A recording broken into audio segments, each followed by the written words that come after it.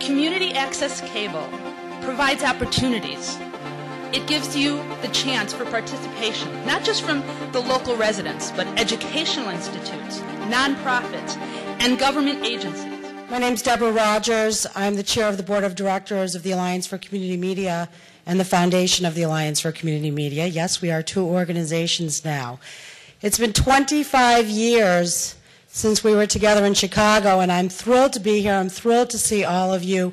We have a wonderful program uh, this morning and the rest of today and tomorrow, and so I'm not going to take any more of your time other than to just say welcome, and I hope you will introduce yourselves to me if you have not met me, and, and if you know me and you haven't said hi yet, please come and do that as well.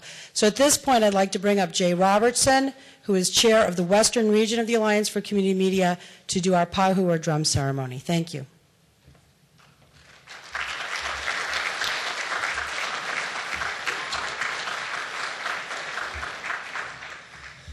Thank you, Deb, and uh, thank you very much, Richard, a most profound and expert blowing of the conch shell. You don't want me doing that, trust me. Back in 1994, the Alliance for Community Media held a conference in Honolulu, Hawaii. And at that time, in keeping with the Hawaiian custom, and as a sign of deep respect for this alliance and the conference participants, the local conference planning committee, comprised of Olelo Community Television in Honolulu, presented a ho'okupu, which is a very significant tribute and offering to uh, the group. The ho'okupu is this pahu that you see uh, on the stage in front of me. It is a Hawaiian drum. This is one of the most important and significant musical instruments in our culture and in the tradition of Hawaiian dance known as the hula kahiko. This pahu was given the name of Kia'i i Kaleo, which means to protect the voice. The hula pahu held great and very profound significance within the culture, and its name, to protect the voice, was given to it to symbolize this alliance and its fundamental mission to ensure that all of the voices of all of our communities are heard. This PAHU was offered to the Alliance to represent that mission in all of our community access organizations that support and give voice to our communities. And it also symbolizes the Alliance's role to guide, to nurture, as well as to enlighten and to empower our communities through the use of this media. Through each of the past 18 years, a bit of the spirit, the energy from all of the previous conferences has been transferred into Kia Kia'i Kaleo. And that spirit is shared with each organization in order to bring strength and focus to our national efforts. Hawaii's local planning committee expected that at some time in the future, the Kia Kia'i Kaleo would return home, either for the next conference to be held in our islands that might be hosted by us, or if at any time that the Alliance feels that they could no longer maintain the integrity of this tradition.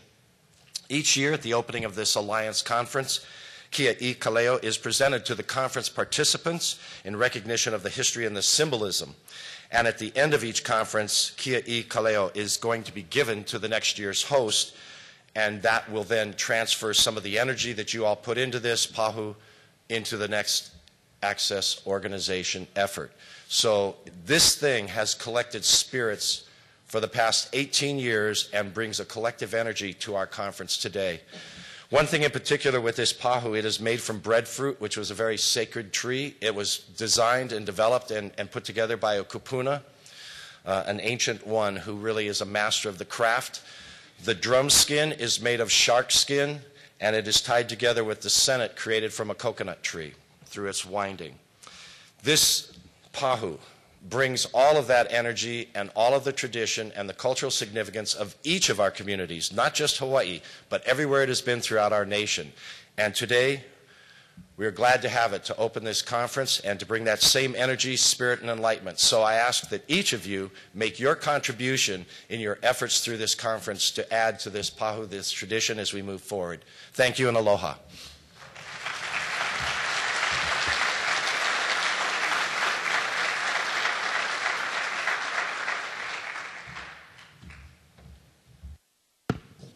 Good morning, and thank you, Jay. We hope you enjoyed yesterday's exhibit hall and conference activities and our reception last night. We have a full day of workshops today and our Hometown Media Awards Gala this evening. Please join me in thanking our sponsors, Tightrope Media Systems, TelVue, Classic Art Showcase, Your Sanctuary, Castus, NewTek, and Comcast Project Open Voice.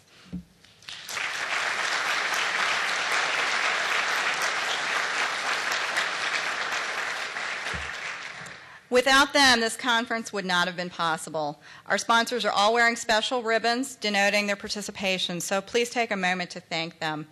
I'd also, um, if they're in the room, just like to give a special thanks to my team from the ACM, Cartrice, Hector, Tricia have our events team, and Greg Morrison, who just ran out to, uh, to do some more work, is our manager of membership. So if you have a chance to grab them, say thank you. They have staff on their badges. It's now my privilege to introduce CAN TV's executive director, Barbara Popovic, from this year's host city. Barbara has just really gone beyond the call of duty in, in helping us get this conference organized, so please welcome her to the stage.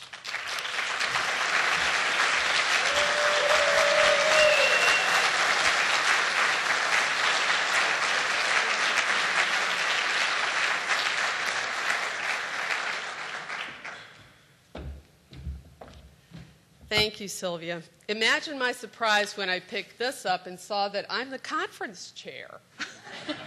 I was like, okay, I better check with Sylvia and see what I have to do here. um, let's be real. Uh, the tremendous amount of work that went into this conference, I think we should really give a round of applause to Sylvia Strobel for what she's done to bring us together here.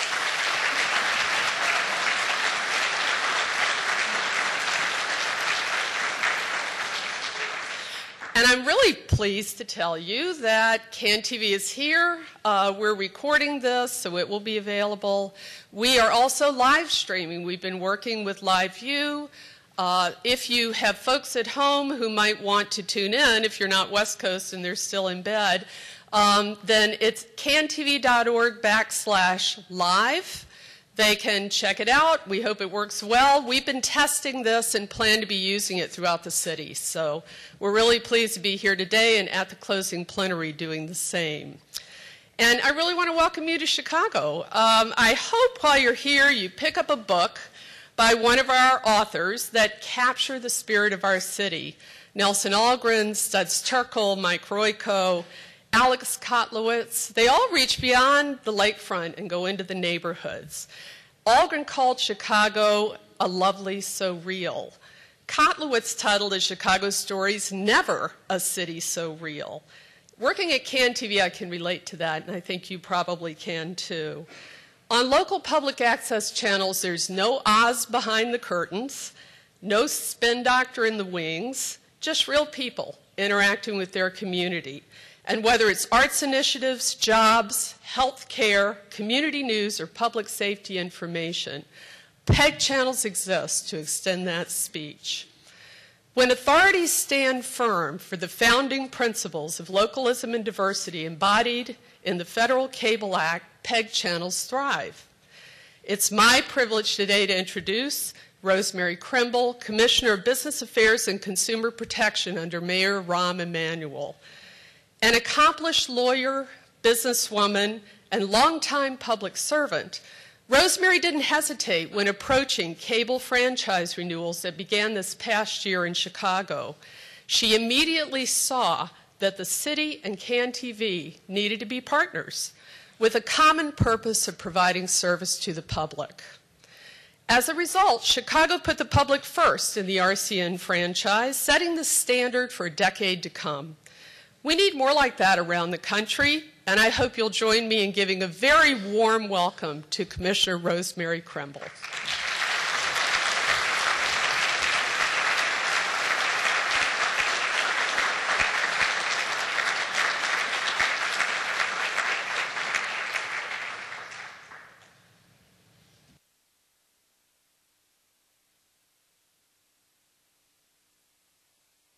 Thank you, Barbara. That was a lovely introduction. Thank you. And welcome to Chicago, uh, a great city. I hope you'll enjoy it while you're here. It is my pleasure to be here, um, to be speaking before a group that's committed to fair media access and local programming. I happen to be, and Barbara doesn't know this, so I've talked about it a little bit, a bit of a local cable access junkie. I have a few programs that I like. One I used to be addicted to on Thursday nights here on, um, was on CAN TV. Uh, so I come to my position in regulating the City of Chicago's cable franchising with a very positive attitude towards local access. I think it is something that every community needs, and I think that the municipalities should be strong in supporting it.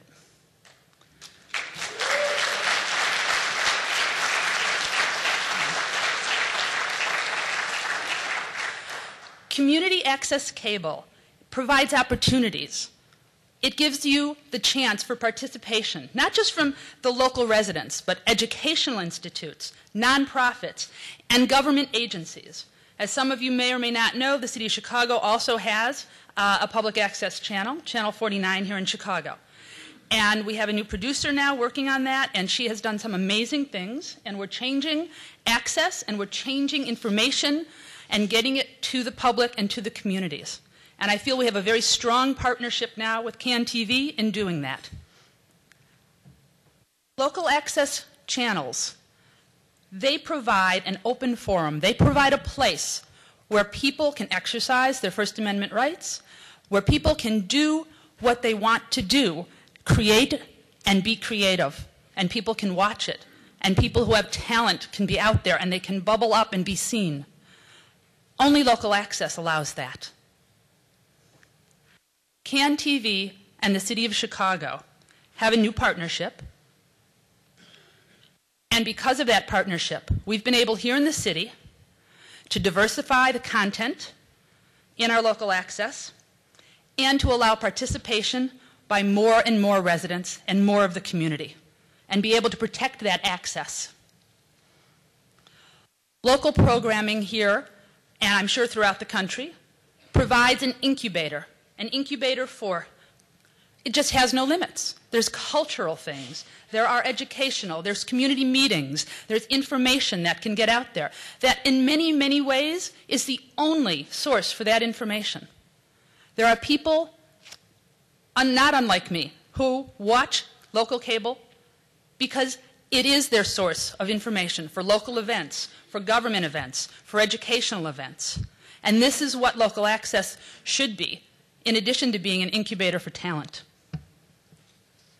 It is a very positive and open venue for getting programming and information out to the communities and the public. Now, there are challenges. I certainly, when I came to this position a little more than a year ago, uh, realized these challenges. Um, but uh, fortunately for me, I had a strong partner in CAN TV who was there. And uh, it was my belief that working together with CAN TV here in the city of Chicago, that we would be able to assure the future of local access programming here in the city. This year, the partnership between the city and CAN TV resulted in a brand new franchise agreement with RCN. It was a, a tough, tough road. Uh, we had a lot of bumps, uh, some valleys, and some hills. Um, but we successfully negotiated a new contract, franchise agreement, for 10 years to provide and secure the future of local access programming here in Chicago.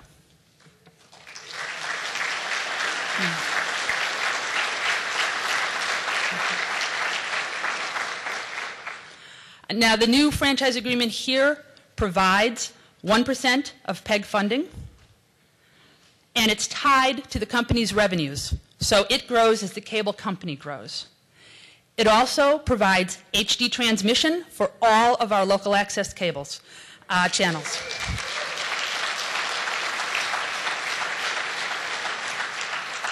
It also provides 30 hours of video on demand per week. Yeah, and it provides for equivalent signal quality and functionality of all of our PEG channels here in Chicago.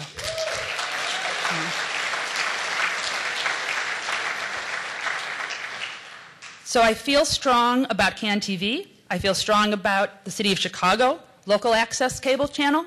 And I feel strong about the future of local access, and I hope it stays strong, and I hope that the rest of the country will be able to follow what I hope will be our lead. And I thank Barbara for her participation, and I thank all of you for asking me to come today. Thank you so much, and welcome.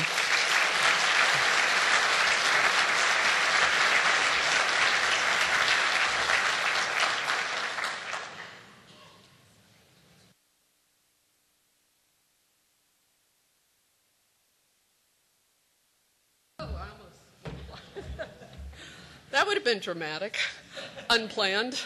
Uh, thank you so much, Commissioner Krimbel. Isn't that great? Oh, we need good news. We need good news. it's now my distinct pleasure to introduce Gordon Quinn, the founder and artistic director of Kartemquin Films, an organization that for 45 years has been telling stories that humanize issues, raise consciousness, and change perceptions about the world around us. You know, George Stoney should be in his traditional seat on the front row for this. He would have absolutely loved this. Gordon and the team at Kartemquin refused to have their work consigned to a real or virtual documentary shelf. When Kartemquin ro- rolls out a film, they hit the road, screening their films in community centers, local theaters, and film festivals. That commitment to community has put Kartemquin on the documentary map with works like Hoop Dreams in the mid 1990s, its story of two inner city teens pursuing their dreams of playing in the NBA. This past year, Kartemquin released A Good Man about dancer choreographer Bill T. Jones a film that delves into the heart of the creative process. I highly recommend that you look at this. I was absolutely transported by it. And at a time of escalating violence in our city, The Interrupters, also released last year, takes to the streets with three Chicagoans trying to protect against the violence they once perpetrated. These films join a growing and much awarded body of work at Kartemquin, but to me, the most aptly named award was the Chicago Film Association's Big Shoulders Award for an outstanding service to the film community and the world. I'm proud of the kinsmanship the PEG movement has with Gordon. Close to 30 years ago, he joined with hundreds of Chicago residents and groups to fight for CanTV's creation. He later served on CanTV's board of directors, and this past year, he actively advocated for public benefits in the RCN renewal a mem- as a member of Committee for uh, Media Access, a large group of residents who joined together to fight for equity in the RCN deal. His personal commitment to media justice, his advocacy for an independent artistic process, and his belief in the power of people speaking in their own voices are principles that we share. It's an honor to introduce someone who, whose actions contribute to the movement for an equitable, just, creative, accessible media system in this country. Please join me in giving a warm welcome to Gordon Quinn.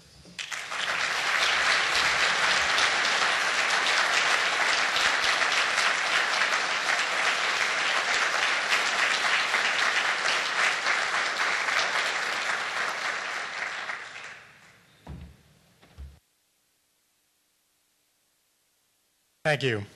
Um, I'm going to be running my own media here, so we'll hope for the best. Um, I, of course, go way back, not as far back as George did, uh, and you're going to hear more about him later, but he was a good friend of mine, and we've seen a lot of uh, technological changes over the years.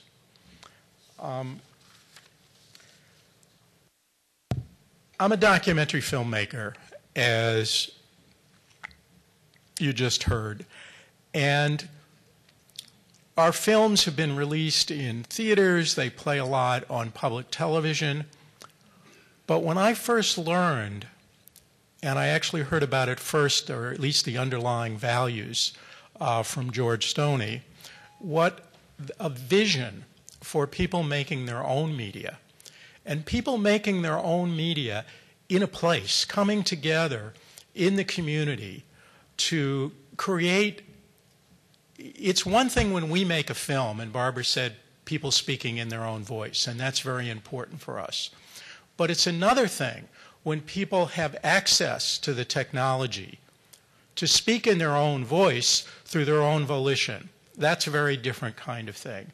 And so I want to speak a little bit about some of the underlying principles that I think uh, sort of are important to all of our movements that deal with media in a democratic society.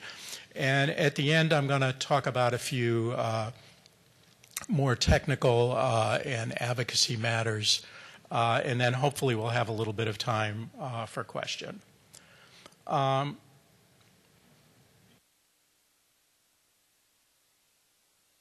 I believe in democracy. I believe in documentary. And I believe in broadcast. And I consider access media a kind of broadcast. Uh, I think that these things are under attack right now. Uh, and I think we have to think carefully about the role that they play in our democratic process. As we, the doc and community media makers, are under attack, they say that we are not needed. The internet makes, takes pl- the place of it all. But when you look at the core values, we know how critical we are to the survival of our democracy. Independent producers and access centers are there in the digital world, innovating to express diversity, to give voice to, and to bring people into community. In our own city, we have shows like Chic-A-Go-Go, uh, a kind of uh, very exciting alternative to Sesame Street. We have a vibrant and old uh, youth media project, uh, the Community Television Network's Hard Copy, Free Spirit Media, and many other youth media organizations are doing tremendously uh, exciting work uh, in enabling young people not only to have a say, but to understand how the tools work that involve, engage them in having a say, say, and reaching what they consider or feel is their constituency. Um, at the heart of what we do is human storytelling, storytelling about people. And I'm going to show a few clips uh, from our movies. I've got uh, three short clips here. The first one from my very first film, uh, Home for Life, which was in an old age home. Uh, and then I'm going to show a clip from The New Americans, a seven hour series that we did for public television. And the clip I'm going to show, Pedrito saying goodbye, uh, was really from the very first. Uh, it, it, it's a clip that somehow all of what we were trying to say in that seven hour series, most of it's in this one little uh, 75 second clip. So, with any luck, this is going to work. Uh, okay, oh, wait, I have to use this. As you can see, I'm. Uh, Mine, you didn't wear skirts yet here? Huh? You didn't Oh, yeah. wear skirts? Here, here, you want to wear this tomorrow? This is Mark. Okay? Well, I've got one on, I don't know if All it's right, marked or well- not. Well, all right, wait. Leave- Not Mark, you have to We'll get leave it in her drawer, honey. She'll I'm look trying to for it. organize. All right. This is, uh, where should I put this? On your night table here? Don't go on the, Ma, I'll put it on the night table. yeah, Nikki Neal. Oh, Lord, no. no. Honey, put this back in your mother's drawer. I have another glove at home that matches this. Take it back and bring it with you when you get the pair. All right. Was this marked? Is this the marked one? Which one? No, I think Wally said he's going to take this home and disabled and told Wally to bring it. You Well, know. Wally was working Well, tomorrow. he'll stop off for a minute. On the way to work, he'll run up and say hello. Won't and be tomorrow, it'll be. uh, Maybe Friday. Do you want me to do anything else in your closet? Yeah, you Okay, this next clip is from the Mexican story of the New Americans.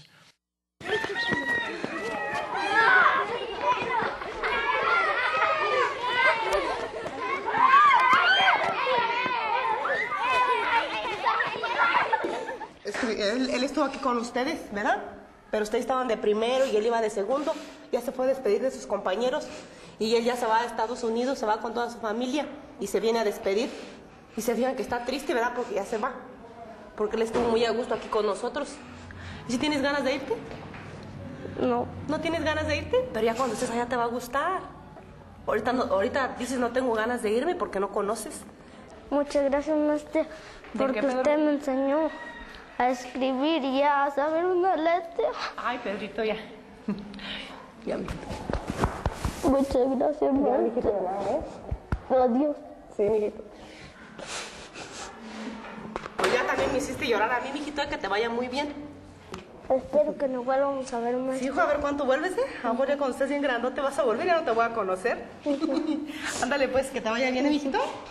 A ver, vamos a darle un aplauso a Pedrito porque ya se va.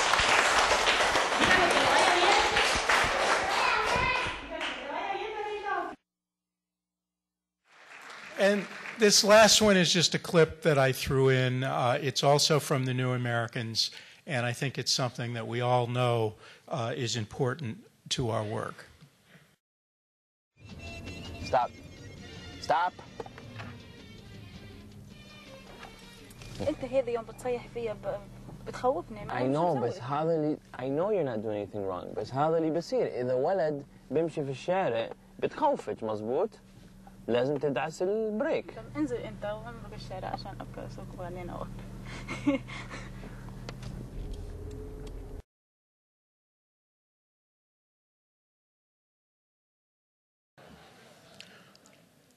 But I think George Stoney would have understand what's so important in these clips, which is they're they're looking at the subtleties of human life, and they're looking at what oftentimes is left out of other kinds of media. Um, one of the things I love about access media is so often you're seeing little bits and pieces of things that are just they forget. They're left out. It's what happens uh, kind of in the cracks of our society. Um, in all the years that I knew George, I forgot to ask him if he knew John Dewey, because John Dewey is where it all began for me. And if you'll suffer with me and my bad eyes for a moment, I want to read you four quotes from Dewey because uh, for me, they really get at what underlies the values that I think we share as documentary filmmakers and as access producers and as cable access institutions. Uh, one, which anyone who's gotten a proposal from Kartemquin, this is in, I'd say, 90% of our proposals, we quote this. Artists have always been the real purveyors of the news. For it is not the outward happening in itself which is new, but the kindling by it of emotion, perception, and appreciation. We are beginning to realize that emotions and imagination are more potent in shaping public sentiment and opinion than information and research. And I think that's never more true than in the times we are living. Uh, these, all these quotes, by the way, are from uh, Dewey's Public and the Pro- Public's, the Public and Its Problem, which was published in 1927. Uh, it was I read it as a college student in the 60s at the University of Chicago, and it really changed my life. It really changed what I decided, what I knew I was going to do with my life. Um, another quote, because he also spoke about community, and I think the connection between community and media is critical, and I think we're at a critical juncture now to understand that community is a place, it's where people come together, and that the internet is a wondrous thing. We all use it. One of the things I think that your access centers are doing and that your movie, movement is doing is trying to make that connection between people working in groups, coming together, being in face to face contact with each other, and also using the internet in very innovative ways to underscore that and to make it happen and to make it more effective and powerful.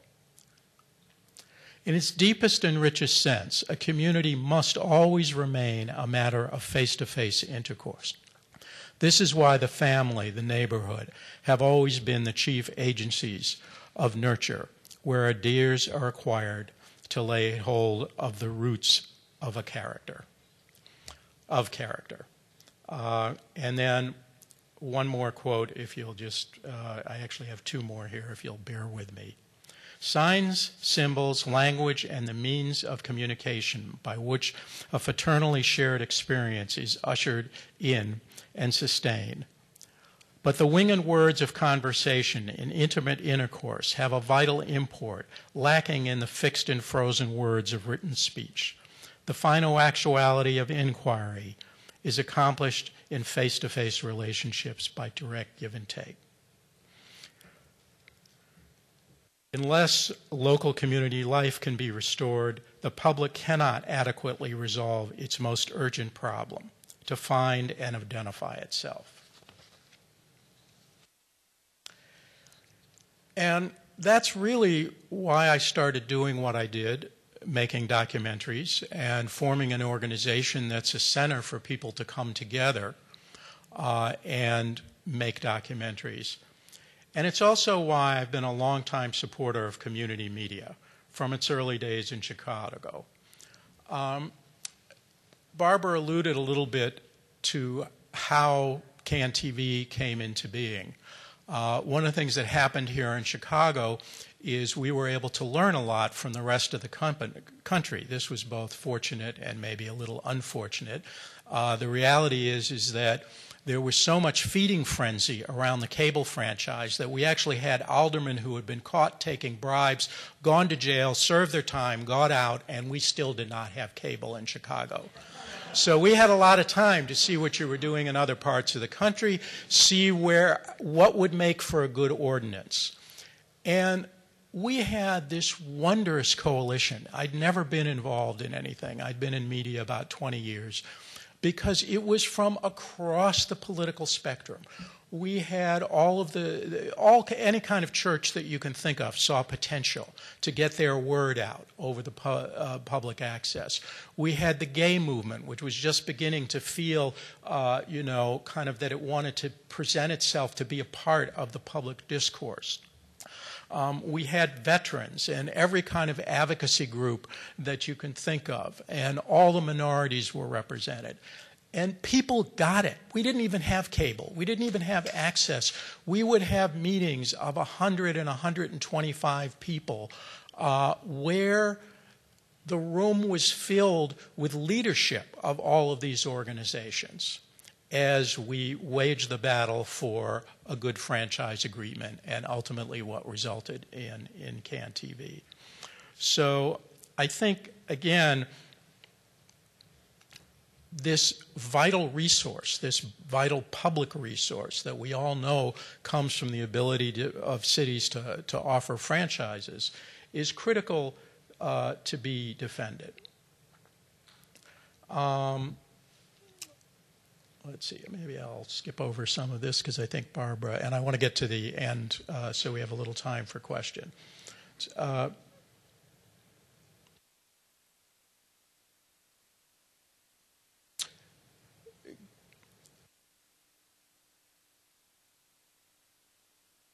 community access is about communities forming and giving them access to express their values and build their communities. Access centers are where people come together to make their own media. Training and working on each other's shows is a key aspect of what happens in access centers. Um, i always find it that wondrous moment when people from who may have very different political perspectives. They may have not come into any content, but it's like, oh yeah, okay, I'll run camera on your show if you'll do that, you know. And they're all working around this fundamental kind of communication. And they're all seeking an audience over the access cable system. And in the early days, uh, a phrase I'm not particularly fond of, but they used to talk about narrowcasting. Um, and the way I really think about it is, is that they are finding a community. They are finding a, a, community that may be very small, that may be larger, but it's a community of people that resonate with the kind of work they're doing. Um, they are particularly important uh, places for youth to get their first experience with media. Uh, we have a very active intern program uh, at Kartemquin, and we, we recruit, we get now get 60 or 70 applications for four to six slots a semester. But a great number of the people who come into our intern program are young people who got their first experience, their first training at some access center across the country, and then went on to, to study it in school and, and other places. Um, I think I may have skipped over a part here, but I, I'll just come back to it. That, you know, in sort of wrapping this portion up, I think that we need to be aware of some of the threats we face right now, and we need to think about and speak about the underlying values that are behind community media because those values are incredibly important to our larger democratic society. And I think that this movement does a terrific job of reminding the public that it's not just about me making my show. It's not just about my cable access show. It's not just about my voice. It's about what democracy needs to work. And it needs places where people can come together and learn about what it means to make media and to seek a community that you're trying to reach. Um, see if I, yeah, I did. Okay. So now, what I want to do um, is I want to talk about a few what I call technical matters. I mean, I'm really talking about, I want to talk a little bit about ethic, ethics and I want to talk about advocacy. Um, and for your field, there may be some differences, but we know how we all know how to adapt tech to our core values. In a world dominated by very big market players who claim ownership of almost everything, we have to be vigilant in defense of our First Amendment rights, specifically fair use. So you've heard about, and you're probably going to hear a lot about the franchise process today. But there's also important battles to be waged, and we waged it within the documentary community, and we, and we won, to be able to use the images and the symbols and the trademarks and all of the things that people say are copyrighted, that they say you can't use, to be able to participate in the culture of our community. Um, this is really laid out in oh, now I can't remember the article. It's either 21 or 17 of the Universal Declaration of Human Rights. And I highly recommend that document to you. The article that I'm speaking about speaks to intellectual property. And one of the things that it says, which I'll just paraphrase, is that everyone has the right to participate in the culture of their community. That's a human right. It can't be taken away from you. In the same uh, section, they say everyone has the right to the moral and material benefits of the art, the science, the things that they have made. Now, if you think about it, and that's where copyright comes from, those two things are in contradiction. Um, and it's the balance between the two that's at the heart of what is necessary for a healthy democracy. Um, actually, before I talk about fair use, I just because so I don't forget it, because this is a particularly important audience, and I'm actually going to show a clip. I just want to put in a plug for preservation that you really need to think about saving your material and getting your producers to save their material. I am going to show a couple more clips. In fact, I'm going to show one any minute now. I didn't turn the lights on. Uh, I don't think. Um, but I just want to show you something from a brief clip from the Bill T. Jones film that Barbara mentioned, uh, because I think it illustrates what I'm talking about. So hopefully they'll be able to turn the lights out. We need right to strike. We need right to strike. We need right to strike.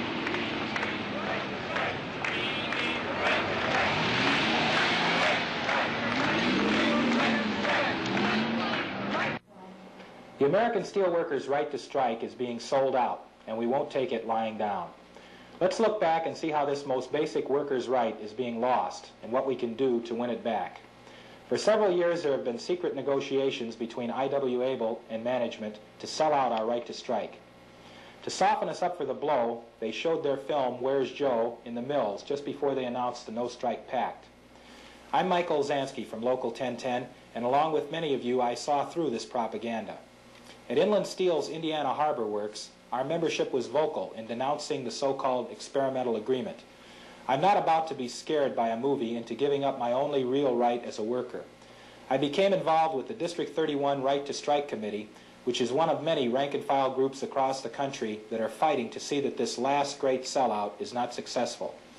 Let's look at parts of the movie Where's Joe, made by the companies and I.W. Abel. Then we'll show you what we found out about the real problem in the industry from talking with other workers and doing our own research. First, a piece of the movie.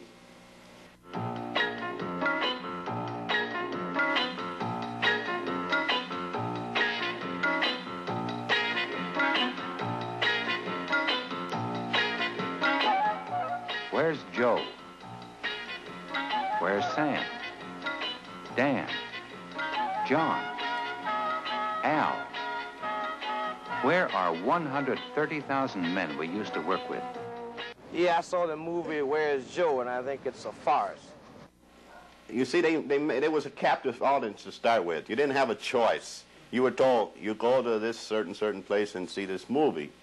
You know, I mean, they, they didn't have a, a choice. And I believe now that they would even even have trouble forcing the guy to even go see it, even though they paid him and, and everything else to go see the movie.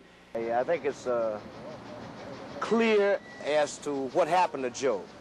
I think it's the uh, stepped up automation in the plants. This next piece was done by Judy Hoffman. Uh, it was done in the 70s when we first got the Sony reel to reel tape recorder. And we had been making films for about 10 years at this point. We were working at a very high level of film production and, uh, you know, editing and that kind of thing. And we were approached by a community, uh, by a union really, uh, who had gone out on strike. and they felt, they, they worked in an unemployment office, and they felt nobody else knew what they were about, nobody else knew what they were doing, and they wanted to let everybody in the unemployment offices all across the city know what they were doing. And so we made this tape. She literally edited in the camera. I was trying to explain this to a young person, one of our interns, the other day, and it was, I realized she'd never even edited tape. She was born into the digital world. And so, as I was explaining, that we would roll the tape back to the point in the interview where we thought it, we could end it, and then we'd start recording the next person. Uh, and I had to explain to her, no, I want to leave all the glitches in in the piece so that people can see how we put it together. So let's see if I can successfully get this to play. We shall not be moved just like a tree standing by the water. We shall not be moved. The flames are behind us. We shall not be moved. The flames are behind us. As most of you know, Local 1006 is on strike at local office number 70. The membership of that office voted to walk out after their union stewards and key union activists were either fired or transferred for protesting the work on Saturday and Sunday or else rule. As they should have, our members viewed management's actions as a bold and callous attempt to bust the union at local office number 70. But the union at local office 70 is standing up well under attack as the members have the unity and determination necessary for ultimate victory.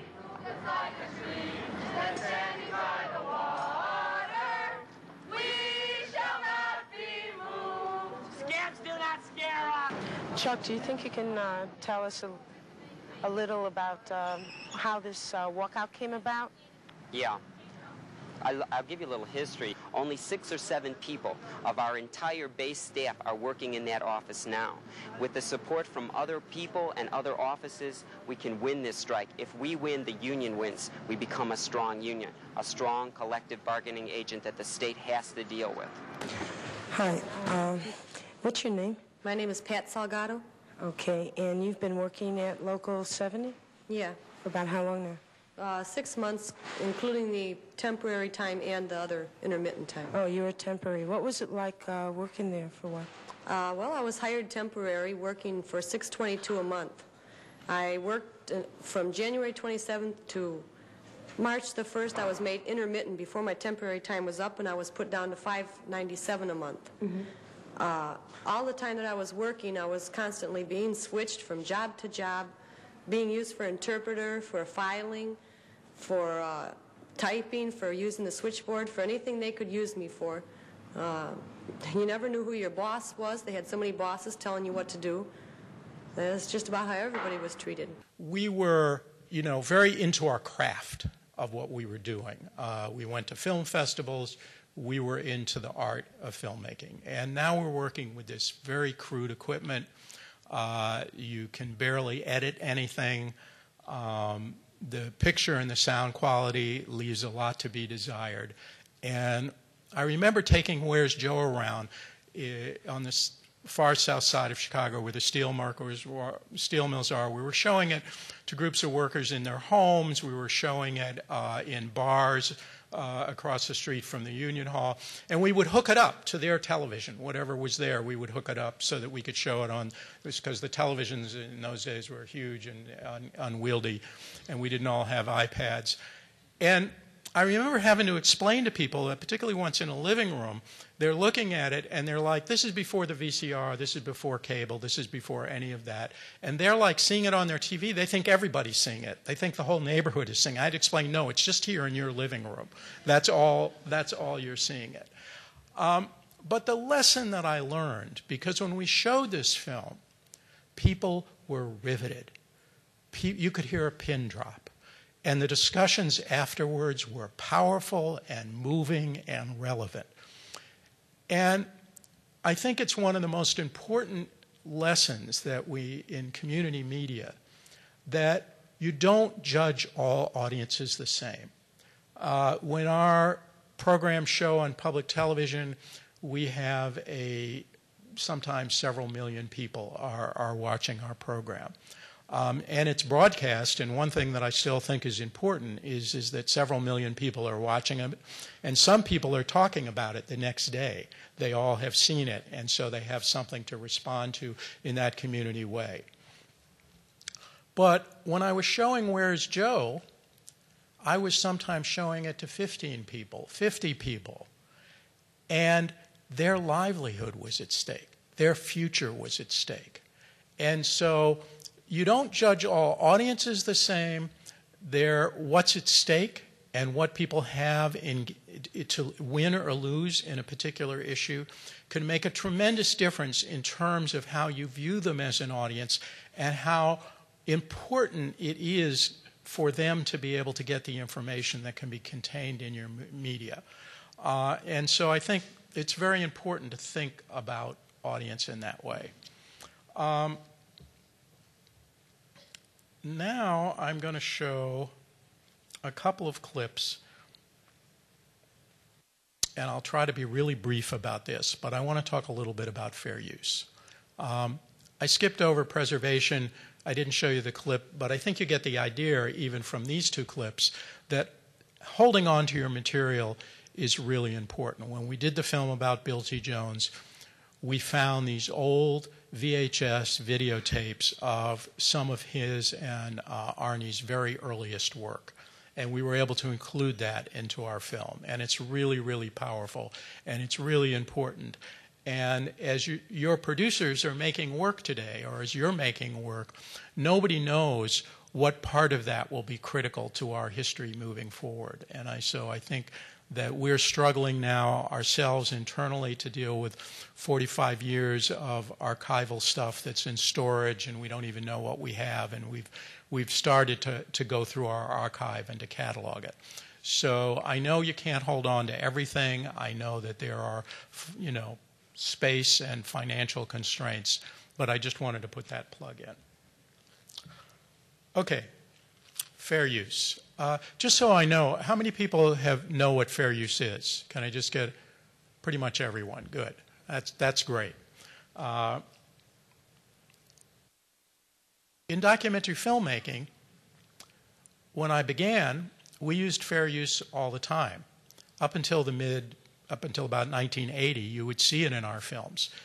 Images where we had used our sound or a piece of media, where we had used somebody's copyrighted work in our work to comment on it, to critique it, to parody it, to put something in historical context. But the big rights holders, mostly based in Hollywood, Disney and Sony and uh, you know all the, the, the not precursors to Viacom, began to threaten to sue. They didn't threaten us. They threatened the gatekeepers.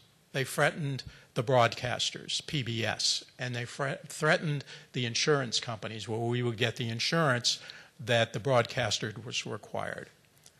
And by the end of the 80s, we had lost the, the right to use our fair use. And to be a professional, and you've probably all lived through this in your own centers because you seem to be familiar with it, uh, people will come in and say, you can't do this, you can't do this, you can't do this. It was being taught wrong in the schools, uh, in you know, the, uh, in NBC, and I saw this myself in their standards and practice rule, uh, the 30 second rule there, you know, that you can use 30 seconds of, of a clip but no more. Well, there never was any such rule. They made it up themselves. And I want to show you the consequences of this, uh, if I can find this.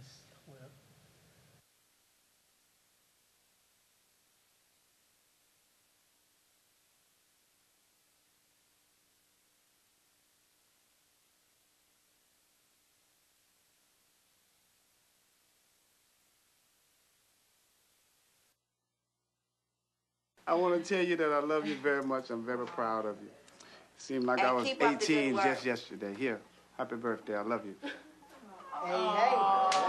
Happy birthday. I love you too. Come on, here. Let's go. Happy birthday. Happy birthday, dear. Happy birthday to you. Happy birthday. Uh, and you can see that from an artistic point of view, it really undercuts uh, the scene.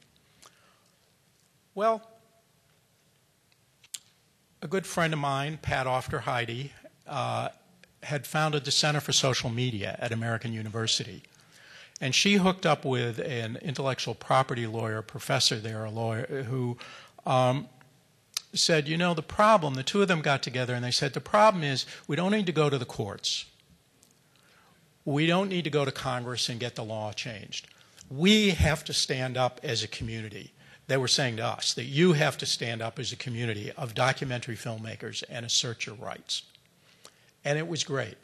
Uh, as soon as I heard this, I was on board. I was like, let's go to the ramparts. We just have to get organized, and as you people are organized, and speak for our community. And so they held meetings across the country. We sponsored a couple at Kartemquin. And we talked about how we viewed this balance because we're all we're on both sides of the issues. We're copyright holders and we're also copyright users. And so where's the balance? How do we define it? And we just they they published uh, for us. It was really written out of our expression and vetted by lawyers. And we published the documentary filmmaker statement of best practice uh, in fair use. So now we had this thing that said this is the best practice in our field, that if anybody ever did sue us, by the way, if you look at the case law, these big companies never sued anybody uh, in, unless, the, unless what the person was doing was so egregious that even we would all look at it and say, yeah, he should be sued. Uh, you know, the guy who took uh, a bunch of songs from Elvis films and strung them together and released it as a feature film, called it Elvis Sings. That's one of the few cases that actually went to court. Uh, but the kind of thing that we were doing, they never sued, they just threatened people. They frightened everybody.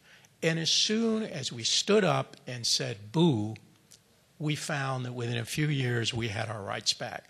And I'll just show one more clip. Uh, this is from our film In the Family. It's about the BRCA breast cancer film, uh, the breast can- BRCA breast cancer gene. And over the years, I had had many discussions with people about magazine covers. Uh, and so I'll just show, let's see if I can find this one. Listening to Nicole brought me back to when I was 13 and my mom was diagnosed with ovarian cancer. I didn't want any of my friends to know. I remember at my birthday party that year, I was relieved that she was wearing her wig and that no one would know she was sick. It was 1986, the same year Gilda Radner was diagnosed. And all of a sudden, the whole world was talking about ovarian cancer. In many of our films, we use things from the mainstream media. We use, uh, you know, the news, we use uh, the national news, and uh, Peter Jennings, he's no longer with us, but whoever the anchor is, I forget their names, uh, we use the anchor. You know, people will tell you, oh, well, they have a union contract. You can't use him, or you can't use his voice, or you can't use the underlying music. If it's fair use, if you're using it within the confines of the best practice statement, you can use all of it. Um, all of the rights are, are protected, all of the underlying rights. And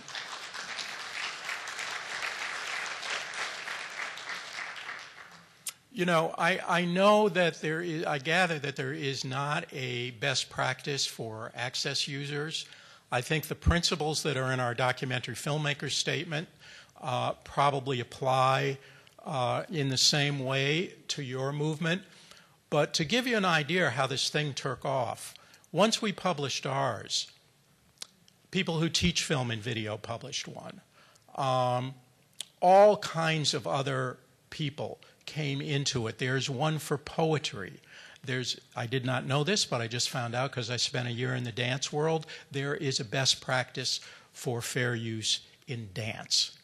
Um, so communities have come together define their own question of where this balance lies and publish these statements, which then gives you a very powerful tool. If anybody, when you insert a right, you can always, someone can always sue you. You know, I always have to explain to people, no, it's not a contract, it's a right. And you have to be able to will, and there are a lot of law clinics around the country. We work a lot with uh, the University of Southern California right now, and they are um, willing to defend you if someone ever actually does sue you and take you into court, because there is always that fear well, I'm just an individual producer, or we're a tiny little access center, and what if somebody really big comes after us? And there are people that are willing to defend you. But uh, I highly recommend the Center for Social Media's website uh, and that you go to the fair use section and look at some of these best practice statements. Uh, both the documentary filmmakers one and also I think the internet. Uh, there's a particular one for uh, posting to the internet that people got together and published, and both of those I think would be very useful uh, for your field.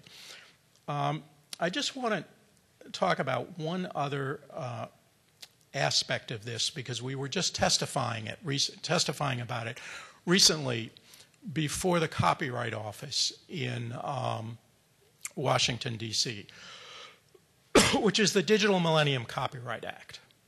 And one of the things that's in the Digital Millennium Copyright Act, which probably most of you are in some ways familiar with, or at least this aspect, that if you break the encryption on a DVD, the mere fact that you have broken the encryption means that you're in violation of the law. Well, that's a very problematic law. We may want to use a clip for perfectly legal purposes, but the only way we can access it is to get it off of that DVD. And the Copyright Office did realize that there was, you know, it's the problem that they get into when these laws are written by lobbyists. But I think it's probably important uh, for your constituencies to understand sort of what the limitations and also what their rights are that there, there is an exemption out there. And I'm going to just show a clip that we used. I'll show two more clips, and then I'll just stop. Uh, if I can.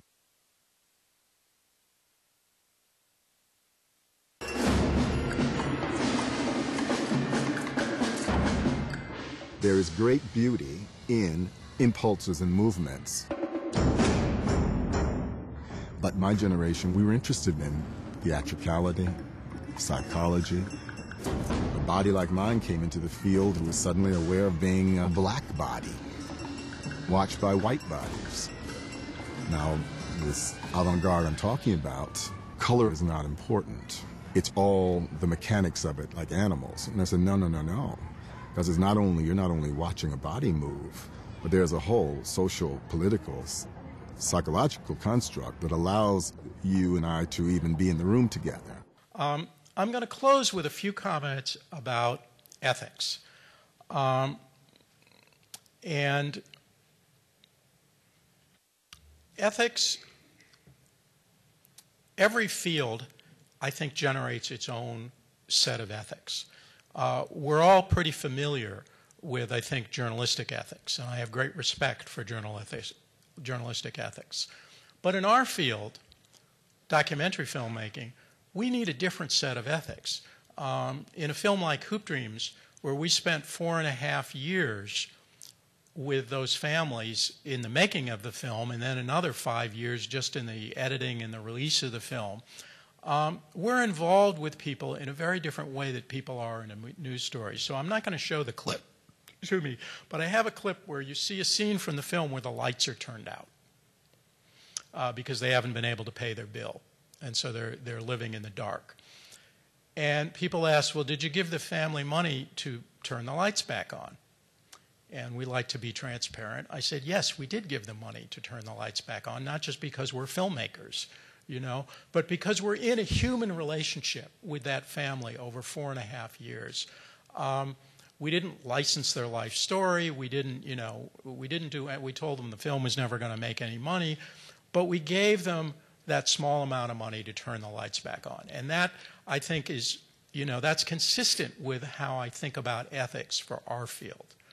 Um, John Nichols, uh, who writes on documentary, has what I think is a great way of thinking about this. He says, whenever you make media, and I think this is true for your producers too, you have a responsibility to your audience, to your community. For journalists, it's to get the story. Uh, in community media, it may be different kinds of things. It may be sharing, it may be being real, it may be providing people with a, a, a, view into something. It may even be just a kind of music that, that they want to see. But you also have a responsibility to the subjects of your films. That it's, everything is not okay. And it's not okay to cross every line. And so I think your field also needs to think about ethics. And one of the things I challenge documentary filmmakers with uh, you know, journalists have a very set procedure and they have fact checking, and they do not share their story with the subjects uh, before it's published, if it's a real journalistic story. And I understand those ethics and I respect them. But when I'm asking people to let me in to the most intimate aspects of their lives, that's a different thing. And what I tell people in a film like The New Americans, or what we told the families in Hoop Dreams. We said, We're going to share this with you. And we're going to share this with you and let you see it before anybody else sees it. And I, it depends on who the people are. Generally, if people are not people with some kind of power or agency, I basically say to them, we're going to have a real discussion. If there's something you don't like in the film, something you don't think should be there, there's going to be a real argument. We're really going to talk about it. You're really going to have to listen to me. But if I can't convince you that it has to be in the film, I'll take it out. Uh, with Bill T. Jones, with another film I did about an hour, an artist, these are people with power and with agency. So I often reverse that conversation.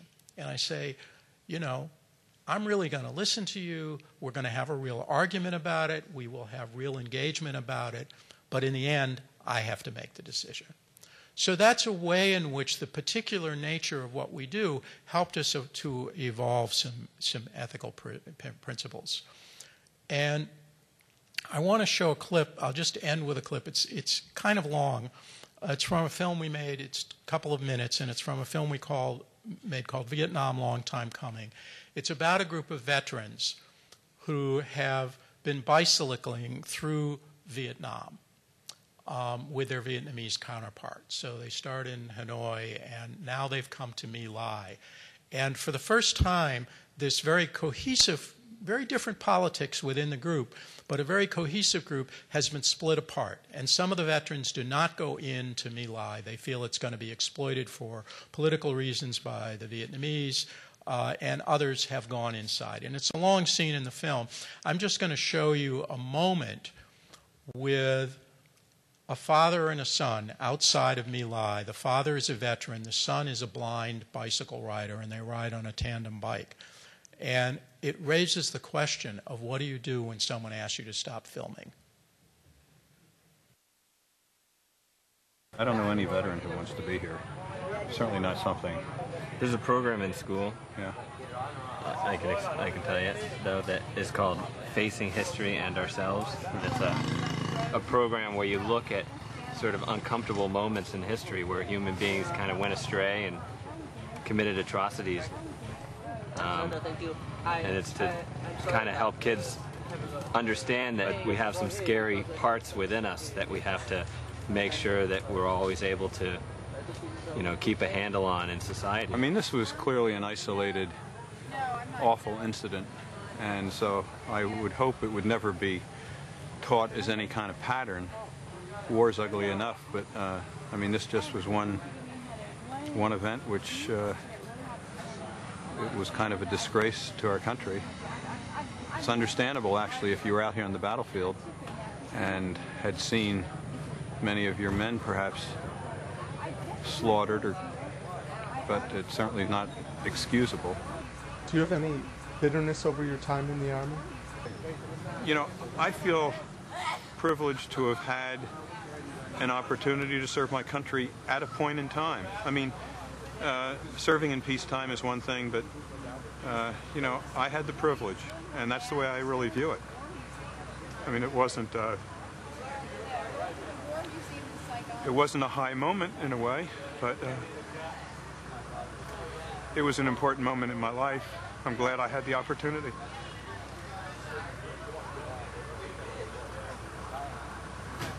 I don't have any more.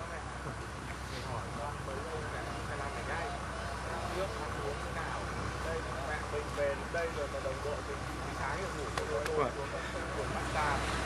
No, when you think about it deeply, you know.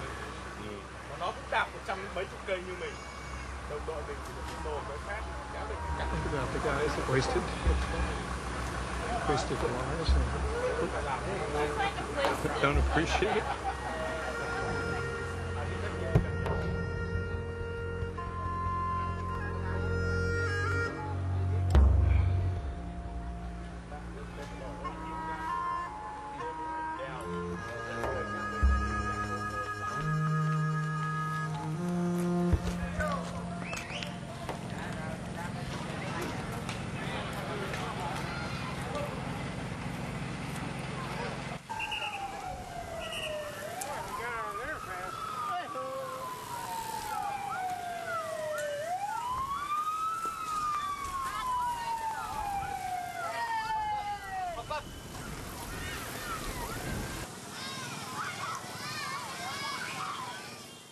Peter, who was a partner of ours, was filming this, and he kept shooting. And Peter knew what he was doing. He took responsibility for that decision. If I'd been doing it today, I would too. But in the clip I showed you, the very first one, the laundry scene in Home for Life, which actually goes on for eight minutes in the film, which is an eternity in screen time in a documentary. It's a very painful scene. Uh, the son and daughter in law are racked with guilt about putting the mother that they've had in their home for 15 years in a home for the aged, even though it's a very good home. And nothing is discussed but laundry. And it's the fulcrum of the whole film because you understand that part of the reason that they seem to be treating her so badly is they're being driven by their guilt. And right in the middle of that scene, I'm a 24 year old kid, I'm working on my first movie. the old woman stops right in the middle of the scene. And she says, I don't want to be in the movie anymore. I don't want to do this anymore. We'd all talked to it. We'd gotten releases. We'd talked to the family. We'd done all that kind of stuff. And because this is film, you see that the camera, I, I want to get this out of our archive and actually make a teaching piece out of it. Because the camera stops, the screen would go dark, and the sound continues to roll in the quarter inch tape recorder. And you would hear this 24 year old kid explaining to this confused old woman how important it is for her to be in the film. And I know she's struggling and she's having a hard time, but this is going to help other people uh, like her coming into the home. You know, they're going to make things better and that kind of thing. And she says, Oh, okay, okay, I'll be in the movie. And the camera goes back on, and the scene continues as if nothing had happened. Well, at 24, I didn't understand that I had to take responsibility for what I had just done. She's 83, I'm 24. I have all the power in that situation. And the media is a powerful tool. And we in the documentary world, I think, have to be aware of that. Uh, we have to be aware of the reality of the power relationships in our field. And I think that can also be important in access media to make people aware of the that the, it's not that you can't sometimes people raise a question who should be able to make a film about who and all of those kind of questions. And what I think is most important is that people be prepared to take responsibility for the decisions that they make. Um, and one of the things that I, you know, I'll just close by saying we'll open it up to questions, is that I think is so important about access centers is that it's a place where people come together in a community made up of many different communities across a region or a city uh, to confront each other uh, and to really work on those kinds of things. So I don't know if we have time for questions or not. Uh, I'll take a couple questions, and I'll I may need help uh, seeing if anybody here. I think I see someone there.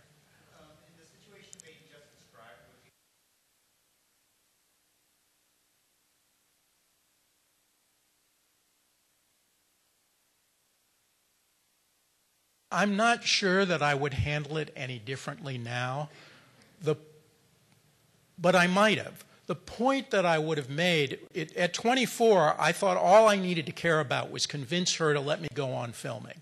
That was my only goal. Now I understand that there's a power relationship there, and I have to take responsibility for what I did, what I did to her, and what I did to her family.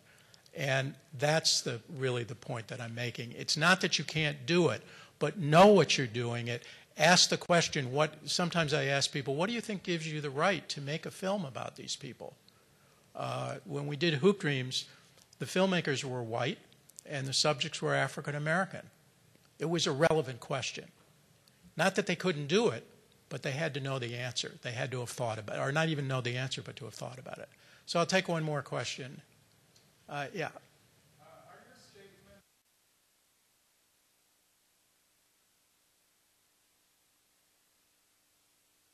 Um, well, some of it is on, I just was looking last night, and some of it from some other presentation I made is on CAN TV uh, online. Uh, and some of it is on our website, uh, kartemquinfilms.com. As you can tell, this is not a formal presentation. It's just not the way I speak. So I don't have like a written speech or anything. Uh, but most of it is online in some form or another. And it's also online, some, some things that I've done at the uh, Center for Social Media.org. So thank you.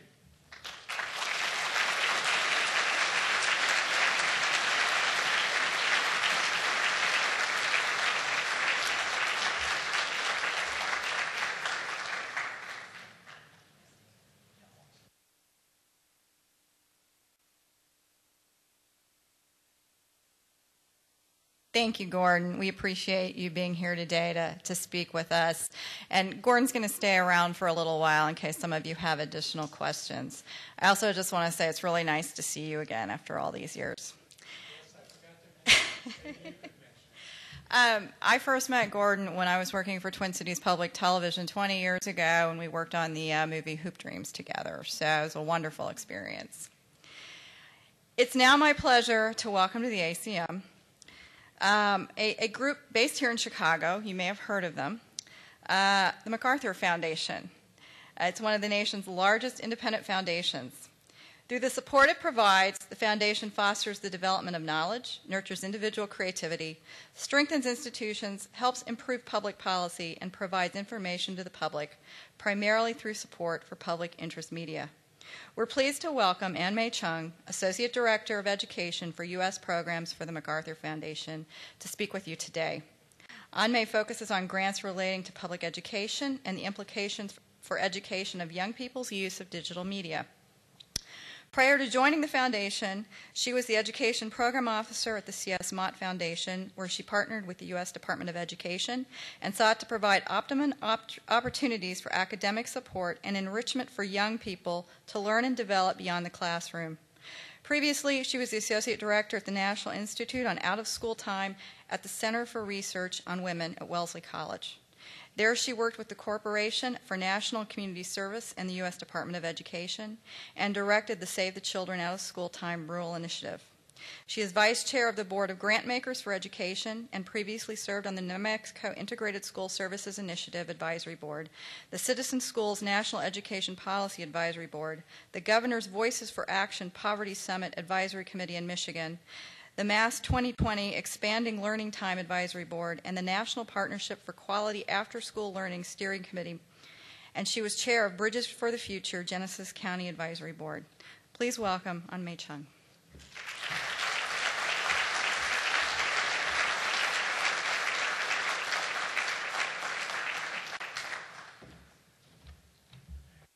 We'll see if we can get the technology to work now.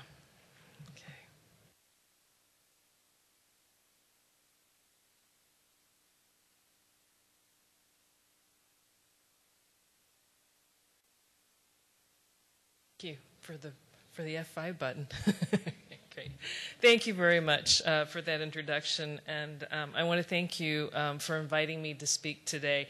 Um, I am uh, not an expert um, in much of anything these days, being a program officer um, at foundations for the past 12 years, but I get the uh, unbelievable privilege of actually meeting experts across the country and the world, which is, is, is such a a wonderful experience for me. So I this morning I had the opportunity to learn from Commissioner Krimbel and uh, from Gordon as well about all the great work that's being done here in the city um, and across the country. Uh, and uh, I'm fairly new to Chicago, so it was wonderful to hear about uh, all the uh, the good things that are happening in Chicago.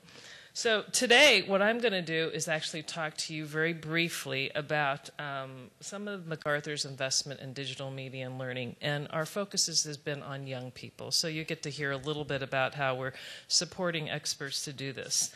Um, the uh, the framework for our grant making um, for this is actually embedded research. For those of you who know MacArthur, we are very strong on the research front. Um, and um, the frame that we are um, uh, talking about right now is what we're calling connected learning. And at the very simplest, what is connected learning? It's about reimagining the learning experience of young people across three dif- different spheres of peer culture, in terms of what matters to them the most, the things they want to get good at, their interests, and academics. And in doing so, it's about creating multiple entryways and multiple points um, to learning so that it will uh, open up more ways to create paths to career, academic, and civic engagement.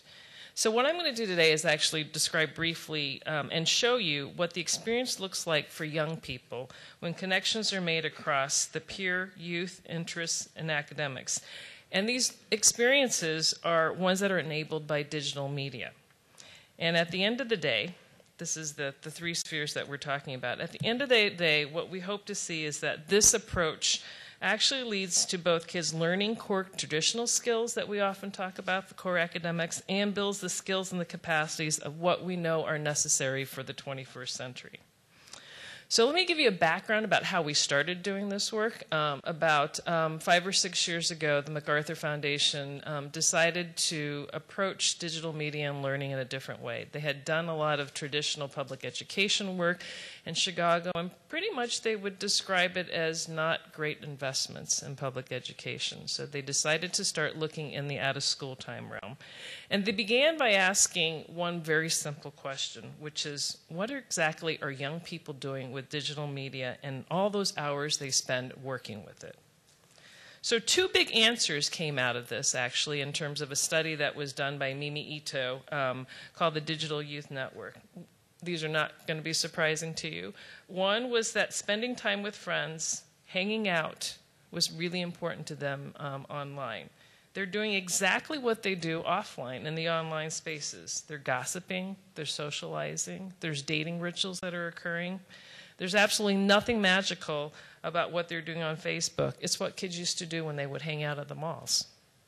They're also, at the same time, which is something new, they're learning technology skills. The second big thing that we learned um, from this study is that they're pursuing interests online. They're getting good at the things that they care about doing. They're in what our researchers are called interest driven community spaces. They're showing up at game sites, fan fiction sites, chess or, chess or science sites, knitting, pottery, crafts, you name it. They are making, they're producing, they're creating, they're players, they're participants of some form, and they have the ability online also to share what they've done and provide feedback, thoughts, and comments to each other. It's that peer to peer culture.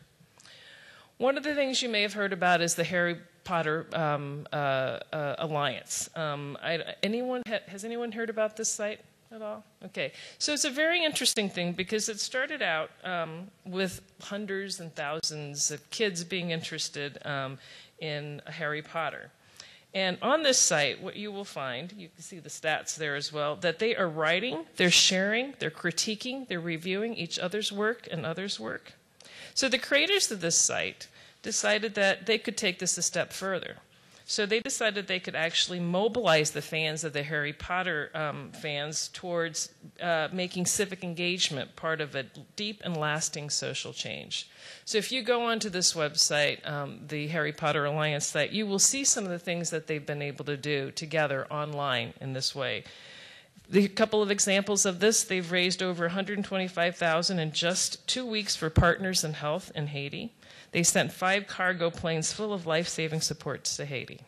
Another example is that they donated more than 87,000 books around the world, including 20,000 to community centers in the Mississippi River Delta. So, this is just an example of what this online learning has done, just both here in the States but internationally as well.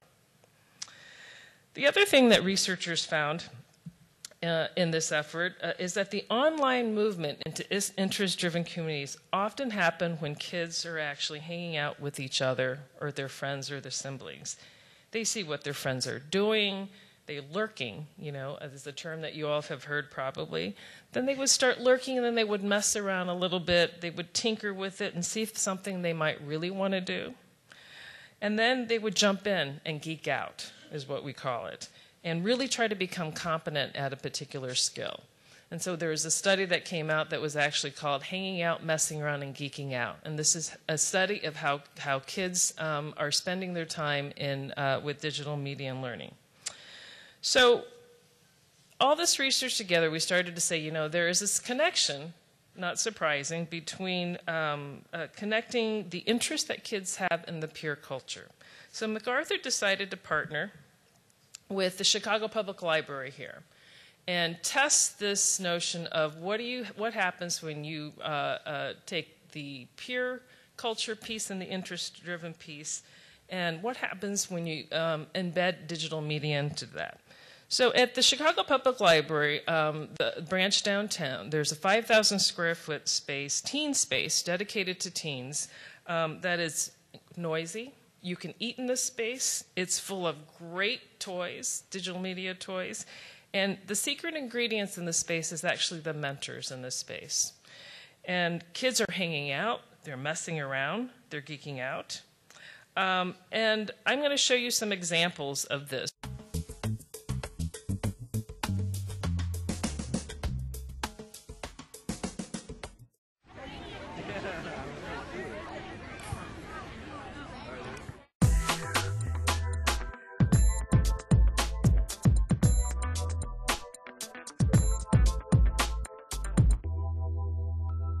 Brother Mike introduced the project to us at first.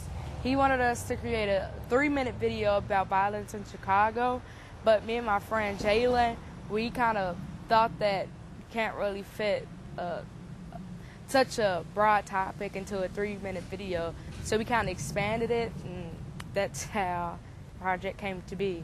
Do you feel as if violence can be stopped? I don't know. If violence can be stopped, that'd be a miracle.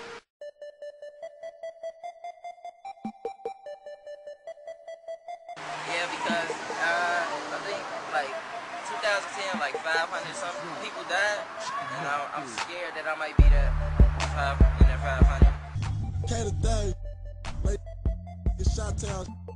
Y'all know what the f- is. in America. According to the Chicago Sun-Times, as of Tuesday, Chicago had racked up 426 murders. Every time we walk, they like try to walk up on- against us, walk up on us, and like do some stupid stuff, but we wouldn't mind it. It happened. Last night was violence all over the city. 20 people were shot in just 12 hours. Violence in Chicago is like something that I really hate. When you think about Chicago, you think about tall buildings, Ferris wheels, and businessmen. For most people, this isn't the real Chicago. The real Chicago is filled with crime, drugs, gang bangers, projects, childhoods without fathers, 14-year-old dropouts. On the FBI's national list of the most dangerous cities in the USA, Chicago is ranked number 15. Chicago closed 2009 with 509 homicides, more than 308 soldiers who died in 2008 in Iraq. More than 15 schools on the south side are in Illinois' worst schools annual list. Chicago's teenagers face danger in and out of school. There are many organizations that fight to stop the violence in Chicago, such as Ceasefire and Cure Violence. The question that is always raised is, is there really a solution to ending the violence in Chicago? With the documentary, the teenagers I interviewed were my sources, and I don't think that in the paper I could have gotten my point across more. And the video could actually persuade teens because a teenager would rather sit down and watch a, a video about violence in Chicago or sit down and read a 10, a 10 page paper about violence in Chicago. I pinpointed little things that could stop violence, such as video games and the videos that you see on BET. Because, for instance, the videos you see on BET, they're persuading you to be violent. So if I say, hey, look, they're trying to persuade you to be violent, do you want to become a statistic like them? They'll probably say no, so they won't listen to what they're saying until Lil Wayne is telling them or whatever the rappers are telling them. So I feel as if creating a documentary and actually telling them what they're listening to and how they can stop it will help them make better choices. When you turn on your TV, all you see is rappers flaunting their wealth and their girlfriends. When you actually listen to what the rappers are saying, it's petrifying. Birdman and Jadakiss call females out of their names, while 50 Cent talks about how many people he shot up. Lil Wayne talks about how much weed he smokes a day, and Lloyd Banks talks about how many cars he has. When you ask most rappers if they believe they're influenced by it, they say no. When you ask the teenagers, the answer is the other way around. They do persuade teens to be violent because they be like, shoot that, you know, that nigga, kill that, you know, stuff like that. So I think the teenagers will listen to it. They trying to get dreadlocks, they trying to um, rap like them, and then they trying to do violence like them. I surveyed 20 teens and 10 adults. 87% of them said they believe gangster rap is one of the reasons behind violence. So we reached our first cure. Less gangster rap equals less violence. We didn't have to create a documentary. Other kids were creating music, so I was like, okay, I'll just put your music pieces in my video so it could tie in together. Um, like, I don't even know one of the kids' pieces I put in, but he's at YOUmedia. He's a high schooler, and the song was really, really good. So I put his in there. I put a couple of my friends' videos in there, so it was really cool. And they were really excited about it.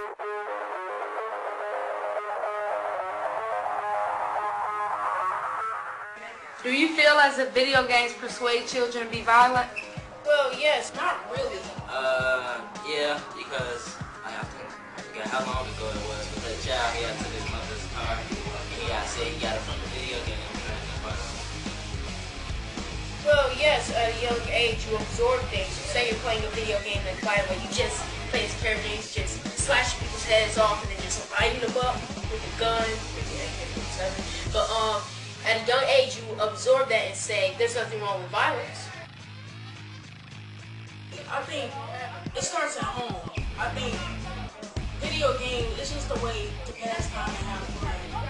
If if a child is persuaded to be violent by video games, then they really shouldn't. Well, I, I don't know if video games influence violence as much as violence influences video games. But yeah, everyone was sharing everything. We were helping each other all the time. Like if someone needed to put a, a video in one of their PSAs, I helped them with that. Or if I needed an interview, I would just go steal them out the studio from Brother Mike. And yeah, so everyone was really helping each other. It was a huge collaboration, really. Do you feel as if if all of the video games that have violence, killing people, stabbing people were banned, that the world would be a better place and there would be less violence? Not really. I mean, you still have the media, which, like, even in your normal average cartoon, someone gets hurt, that's still violence, or someone gets killed in the cartoon, that's still violence. Anything that has to deal with violence is pretty much set in media. So you don't think that the content in Grand Theft Auto isn't bad for a 12-year-old to be watching? Well, um, I think I think it's it really should be an age limit where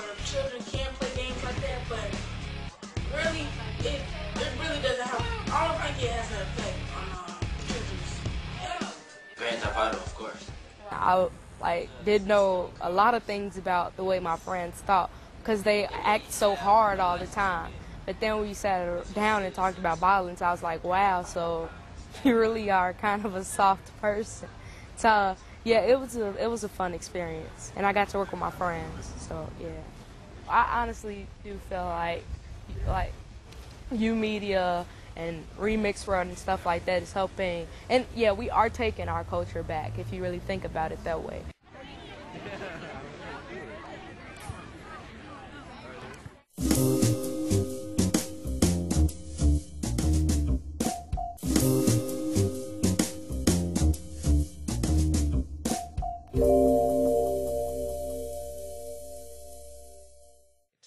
Um, so YOUmedia Chicago is actually one of our demonstration sites. It's one of it's our flagship site in terms of that.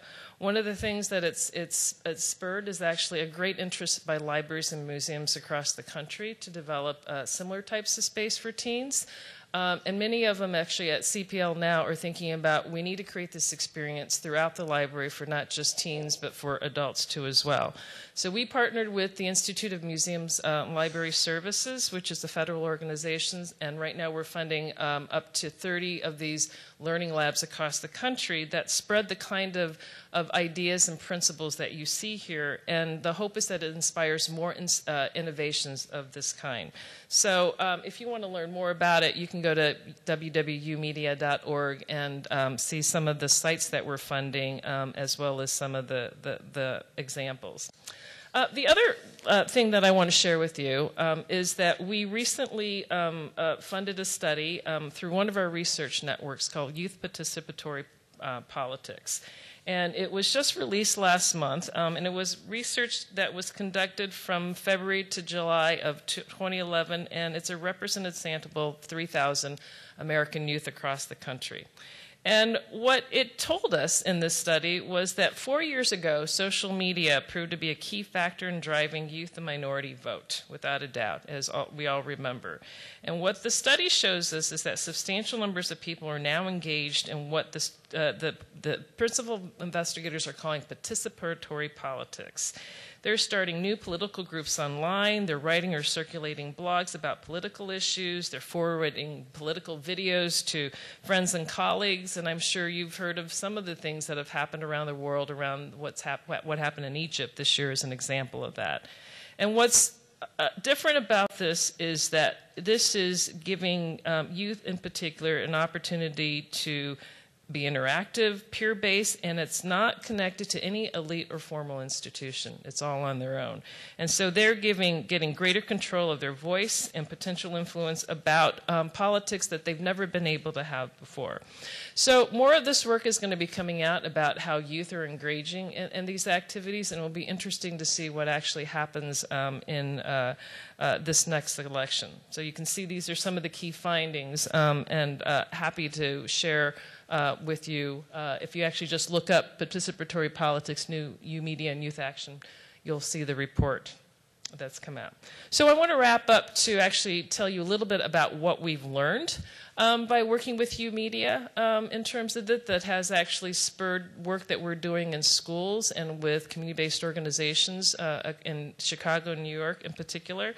And what we have found is nothing that will surprise any of you, but things that need that we need to be reminded about what works for kids is that there needs to be shared purpose. There need to be peers in the setting with a shared interest and purpose to keep them interested. And there must be peer to peer communication involved too, so that, that there's value placed on the ability for peers to communicate with each other. Um, the third is that performance and feedback are absolutely critical, um, and the, it's got to be made visible. So in new media, there's actually no walls. Youth that are just hanging out and be, being social can actually see what other youth and their peers are doing that helps to engage them in those activities as well. Low barrier to participate. Everything, all the tools, equipment, and opportunities to collaborate are literally out in the open, and um, people just kids just check it out with the library card just like you would books right? It's easy to walk up and join any situation in the YOUmedia site and it's a way of getting kids engaged. Um, opportunities to lurk and tinker. Again um, ways to get kids interested. Uh, interests are not innate. They have to be cultivated. And so the mentors and the libraries in this space are absolutely critical for asking those prompting questions that kids get engaged and I think the last one is the mentors. This is something that is not going to be surprising to any of us. Mentors, young adults, and older adults are absolutely critical to this. They play a huge role in getting kids to mess around in the space. They help kids translate, tran, uh, transition from the interest piece to actually identifying interests and to build the competencies that we need. So this is just briefly some of the work that we're supporting, but I wanted to give you all a sense of what that is. And so as you're thinking about uh, the efforts that you're doing, is to think about the opportunity to engage youth in, in your work locally. That's it. Thank you.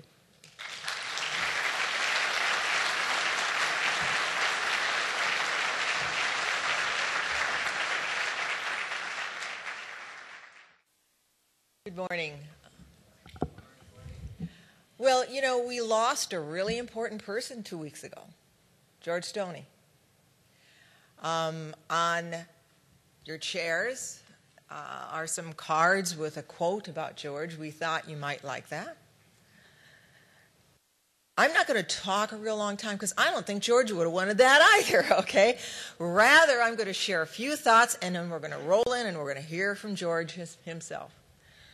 Um, George was a champion of free speech and open media, and, and George passed at his New York City home two weeks ago.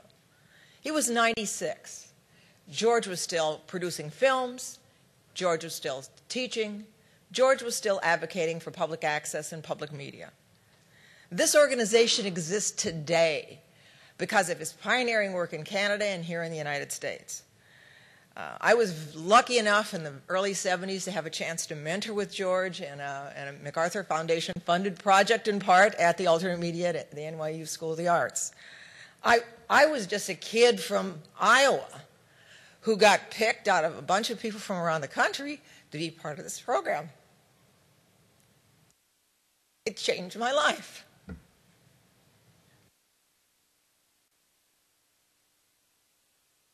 He changed a lot of people's lives.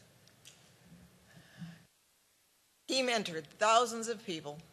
He taught us to put video equipment into the hands of the public and to let their viewpoints come out to allow them to share, discuss, and air their thoughts.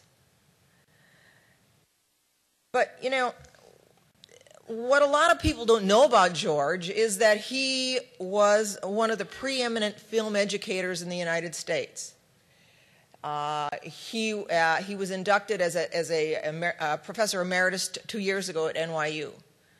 Um, you all think of him as the father of access, but there's a lot of parts of George I think you don't know about. I was lucky enough to get to know those. Some other people in this room were lucky to get to know those, parts of George. But that's part of what we want to share with you today.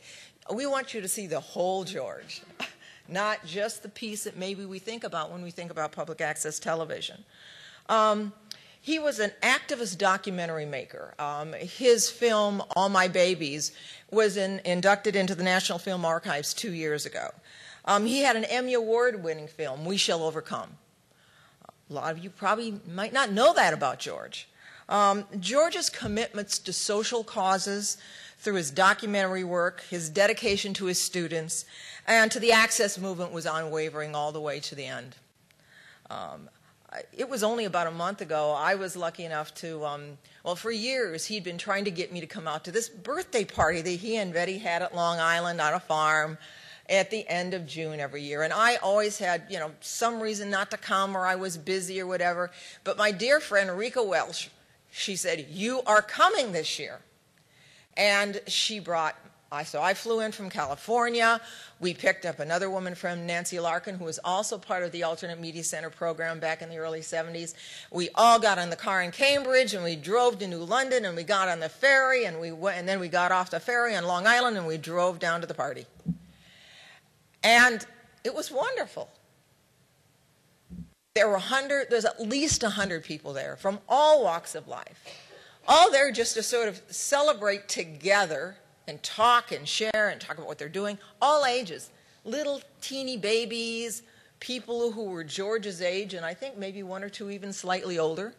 And we were all there together, just having a nice party on a Sunday afternoon on Long Island, eating good food, talking, and seeing people in some cases that we hadn't seen in years. I hadn't seen David Schulman, for instance, a documentary, documentary maker who made um, several films about access and videos about access, and he works with the BBC now. I hadn't seen him in years he showed up for George's party. But George's life was sort of like that. He was always reaching out. He was always sharing and listening and learning from others. His words, his work, his actions. And now his spirit will continue to inspire us in our activities to help this world be a more humane place. Now let's hear from George.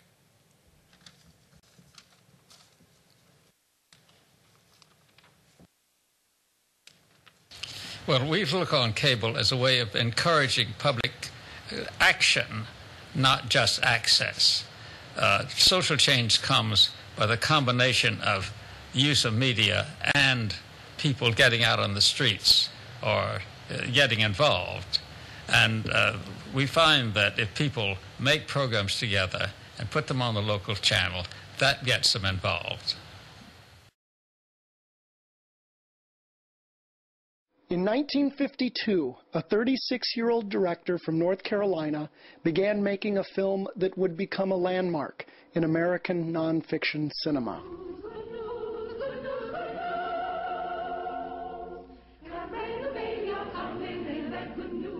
He dared to go where most white people wouldn't go, and that's to watch the birth of, of a baby in, in the middle of a town where there's racial tensions going on, and uh, to actually film that, that birth.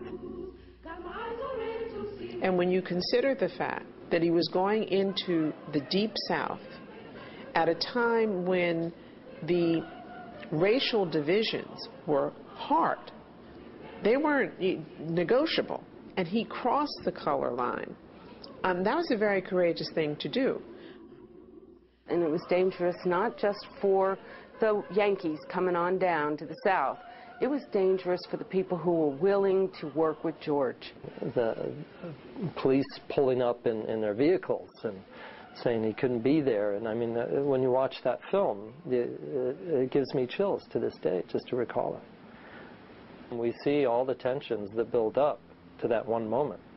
And I remember sitting on the edge of my seat the first time I, I saw that, squirming and you know going, oh my God, what's is this baby going to come out or is it going to what's going to happen here?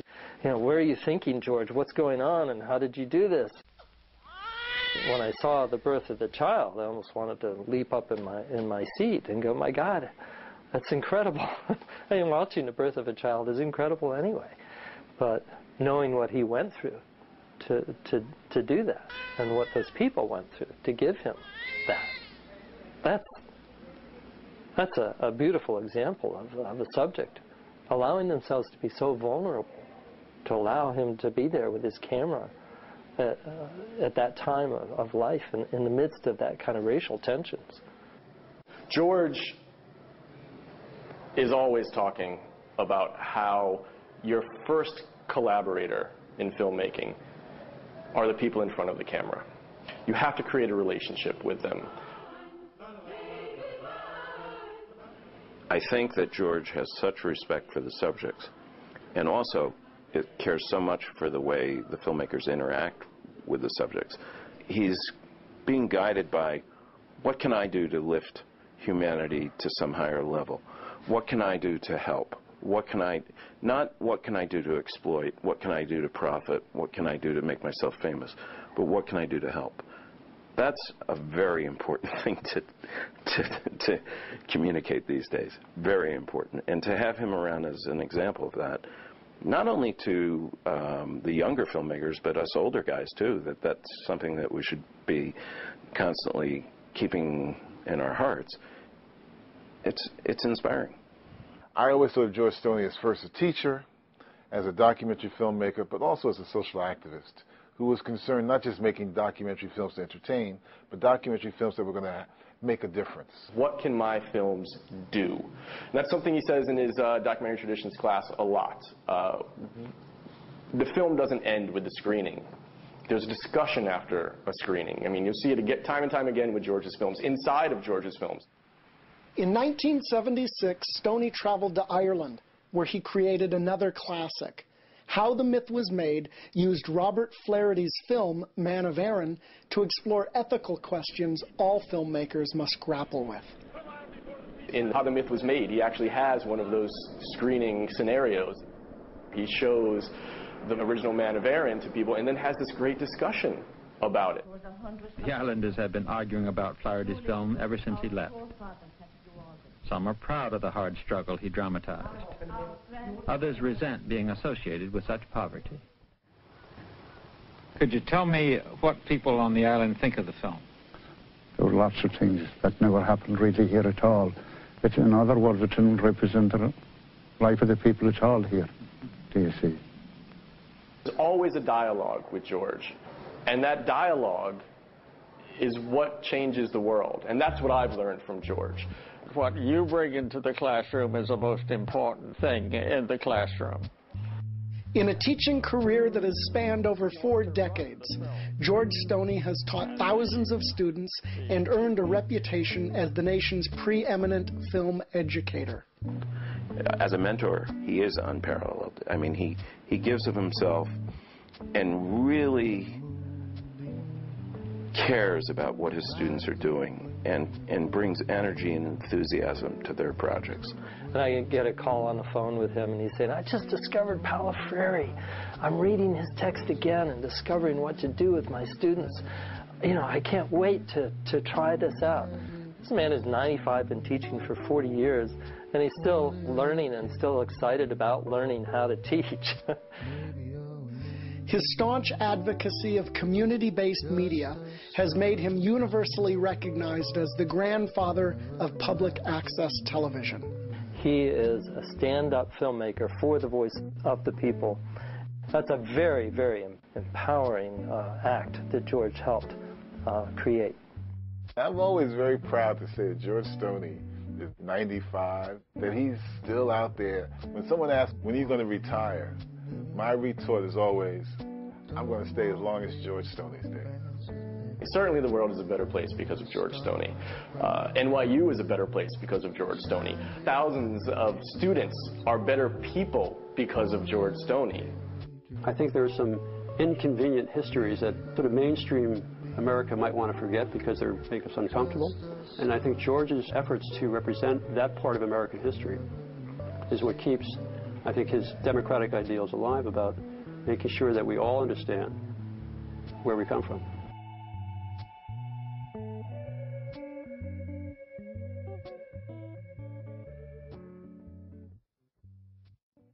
I'm Kathy Bisbee. I'm the from CMAP TV in Gilroy, California, and I'm also the fundraising co-chair along with Mike Wassenaar for ACM National. And while I am a little young to have gotten the opportunity to benefit directly from George's tutelage, his presence was very apparent to me when I walked into these rooms five years ago. The sense of community that we have with each other in community media, I think was best for me today summarized in the quote that Gordon Quinn shared, the John Dewey quote, that community is a place where people come together. And our media centers are that physical location in our communities where community can grow and can flourish and as George, one of George's uh, big inspirations to me was around creating a dialogue as a filmmaker and as a community media person, how we create a dialogue and we create a sense of community at our physical locations and now also online. And that sense of community was hugely important to George as he and others founded the Alliance for Community Media many, many years ago. And we continue to carry on that legacy of community and building collaboration, which is the theme of this conference. We couldn't have gotten here without the work and inspiration of George Stoney in the Alliance for Community Media. And in that spirit, I'd like to bring a few folks up who would like to make a donation to our national movement that George inspired. Could Nancy Richards please come down to the podium? Thank you. And also, uh, could all of the representatives from the Northeast region come? Thank you so much. So, uh, one of the things that the Northeast region was inspired to do, as well as Deb Rogers, who is uh, Falmouth Community Television, is to make a donation in memory of George Stoney. And if that's something that you would like to do today as well, we do have donation forms that are, we are passing around. But I want them to just say for a moment why they decided to make this contribution and for how much to the Alliance in memory of George.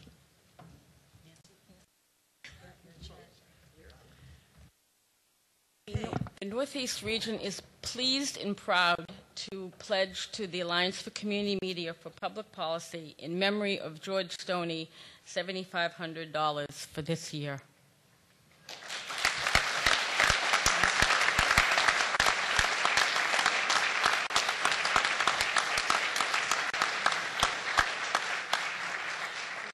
I have the deer in the headlights look, I know. um, our board meets every March um, to do long range planning. And um, it's a time when we all get to network together, talk about what our future is, what our goals are, and also what our purpose is as part of the Alliance. And our purpose, one of our major purposes as a region to the Alliance is to promote um, the, the goals and the missions of the national organization and our state chapters. And so, in keeping with that, our donation to the Public Policy Fund in, in memory of George Stoney is appropriate because we feel that um, as an organization we can't stand divided. We must stand together. Thank you. Deb Rogers, the National Board Chair. Thank her for her contribution and Thanks. I'm actually standing here now as the executive director and CEO of Falmouth Community Television, Falmouth, Massachusetts. You know, we come together, we learn about franchises, we learn about fair use, we learn about um, all the different things that we need to know to run, you know, working with boards of directors and whatnot. But the one thing that George always said to me was, it's about the storytelling.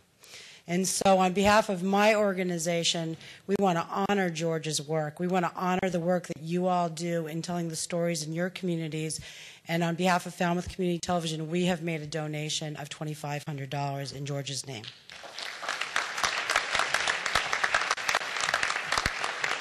Thank you both to the Northeast region and to Deb Rogers and Falmouth TV. So if that's something that you would like to do, um, please write your name on the, please write George's name on the pledge form so that we know that that's something that you are doing.